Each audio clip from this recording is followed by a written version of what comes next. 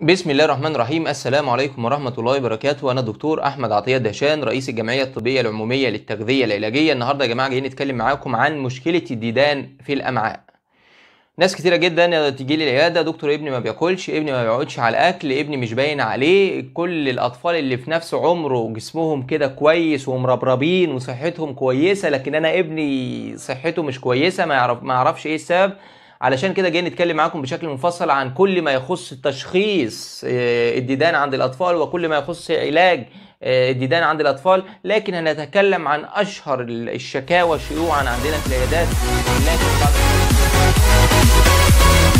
إمتى أقول إن طفلي عنده ديدان؟ أعراض أو الشكاوى الأكثر شيوعا في العيادات. تقول يا دكتور ابني عنده إسهال عنده دم في البراز عنده هرش مستمر عند فتحة الشرج عنده مغص مستمر عنده سيلان في اللعاب عنده تعنية عنده أنيميا. هذه هي ديت خلاص بشكل مبدئي قدرنا نشخص إن هو عنده ديدان نتيجة وجود هذه الأعراض. نبدأ بقى نتكلم بشكل مباشر عن العلاج. طب يا دكتور هنعالج إزاي؟ لازم نعرف نوع الديدان اللي موجودة النهارده هنتكلم معاكم عن أشهر نوعين. طبعا بنعمل فحص البراز علشان نتأكد إيه النوع اللي موجود عنده بالظبط وبناء على النوع اللي موجود عنده نقدر نقرر إيه الدواء الأنسب للطفل نفسه.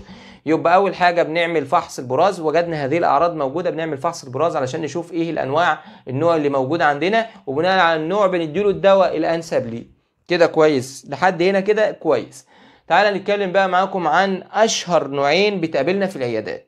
النوع الأول اللي هو الاميبا اما نيجي نتكلم عن الاميبا يعتبر نتكلم عن العلاج بتاعها. إحنا خلاص عملنا عملنا التشخيص بتاعنا من خلال فحص البراز بتاعنا وجدنا إن بالفعل الطفل عنده اميبا طب إيه هو الدواء الأنسب اللي إحنا بنديهوله في حالة الاميبا في حالة الاميبا بندي حاجة اسمها المترونيدازول طب يا دكتور الجرعة بتاعته بتكون الجرعة بتاعته بتبقى بالظبط بتبقى 50 مللي جرام لكل لكل كيلو جرام لكل يوم لطفل لمدة أسبوع بشكل بسيط علشان الناس ما تتلخبطش. إحنا دلوقتي عندنا طفل 10 كيلو جرام وخلاص اتاكدنا اللي هو عنده أميبا من خلال فحص البراز اللي إحنا عملناه. يديله 50 مللي جرام لكل كيلو جرام لو هو عنده 10 كيلو عنده 10 كيلو جرام من وزنه يبقى بنضرب 50 في 10 يطلع لنا 500 مللي جرام يبقى احتياجه اليومي من مترونيدازول 500 مللي جرام يومي. الدبوسية. اما نيجي نتكلم عن الديدان الدبوسية بنقول آه لو إحنا وجدنا في فحص البراز بتاعنا ان هو عنده ديدان دبوسية نقدر نقول إن إحنا بناخد مادة فعالة اسمها ألبندازول. المادة الفعالة دي بناخد منها آه تركيز 200 آه ده بناخد قرصين مرة واحدة في الأسبوع قرصين قرصين مرة واحدة اسبوعيا لمدة 3 أسابيع. ده بشكل بسيط قوي. نتكلم معاكم عن أشهر نوعين بنقابلهم في العيادة زي الاميبا قلنا لو في اميبا بندي الماده الفعاله اسمها المترونيدازول بندي 50 مللي جرام لكل كيلو جرام من وزن الجسم لكل يوم لمدة أسبوع واحد فقط. أما بالنسبة لو طلع عندنا ديدان دبوسيه بندي مادة اسمها ألبندازول البندازول دي بناخد قرصين مرة واحدة اسبوعيا لمدة 3 أسابيع. وبكده نكون خلصنا الحلقة بتاعتنا النهارده. كان فيها معلومات قيمة جدا. يلا بقى دلوقتي نكتب نكتب النوعين على السبورة ونكتب المواد الفعالة بتاعتنا ونكتب إزاي نحسبها بس على السبورة. وبعدين نختم الحلقة بتاعتنا. بس قبل ما نختم الحلقة بتاعتنا عايز كل الناس تنزل دلوقتي حالا. في معلومات قيمة في هذا البتاع في, في هذا الفيديو. بنعطيكم أسرار المهنة. ما دمنا نعطيكم أسرار المهنة. انزلوا دلوقتي حالا اعملوا لايك شاركوا الفيديو فالدال على الخير كفاعله. آه شكرا لكم كان معاكم دكتور أحمد عطية الدهشان رئيس الجمعية الطبية العمومية للتغذية العلاجية. دمتم بصحة وعافية. أول حاجة يا جماعة اتكلمنا فيها النهارده اتكلمنا عن الاميبا قلنا في حالة الأميبا هنكتب حاجة اسمها مادة فعالة اسمها المترونيدازول. المترونيدازول ده عبارة عن أقراص. وبننبه إن المترونيدازول بنقول للأطفال فوق الست سنوات. وبالنسبة لل market لكن من أشهر الحاجات اللي موجودة في حاجة اسمها الفلاجيل.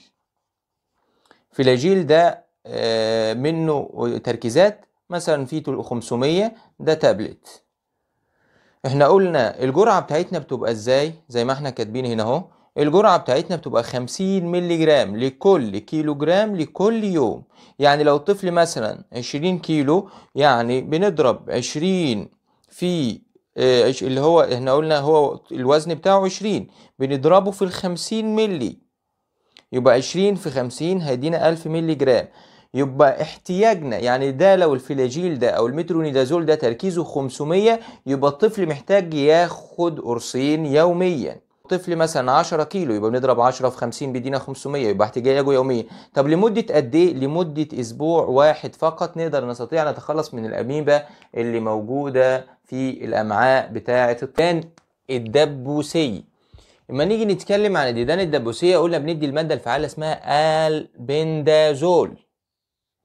الألبندازول بشكل بسيط ده بناخد قرصين مرة واحدة اسبوعيا لمدة 3 أسابيع. يعني كل أسبوع بناخد قرصين. كده يا جماعة بشكل بسيط اتكلمنا عن الروشتة بتاعتنا بشكل تام.